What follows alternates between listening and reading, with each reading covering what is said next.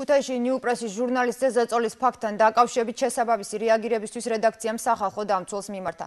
ნიუპრესის ჟურნალისტ თეკლა მორღოშიას ძალვარმა გადაღებული ფოტო და ვიდეო მასალის დაუყოვნებლივ წაშლა მოსთხოვეს. პარლამენტის ხდომის მიმდინარეობის პარალელურად მორღოშია პოლიციის მიერ ხალხის ჩრეკისა და კონტროლის ფაქტებს იღებდა. უცნობ ადამიანებს ის დაახლოებით 15 წუთის განმავლობაში ჰყავდათ დაკავებული. მორღოშია სამხედრო აღლუმისთვის განკუთვნილი ტერიტორიიდან მოშორებით მუშაობდა.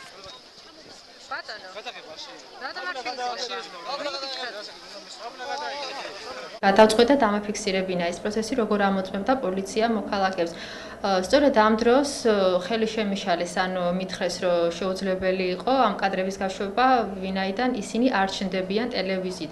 ნუ ციტირებას მომახდენ მათი სიტყვებისას მითხრეს, რომ თუ ოდესმე გინახევართ, ჩვენ ტელევიზიით არ შეიძლება ეს კადრები რომ მოხდეს ტელევიზიით, ან საერთოდ რო გავრცელდეს ინტერნეტითო. ამ ეტაპზედაც ვაპირებთ რომ მიმართოთ კონკრეტულ ფაქტზე სახალხო დამცველს და დიდი იმედი გვაქვს რომ ეს ყველა ფაქტი რომელიც ჟურნალისტების მიმართ განხორციელებულ ზეწოლას და ძალადობას ეხება გამოძიებული იქნება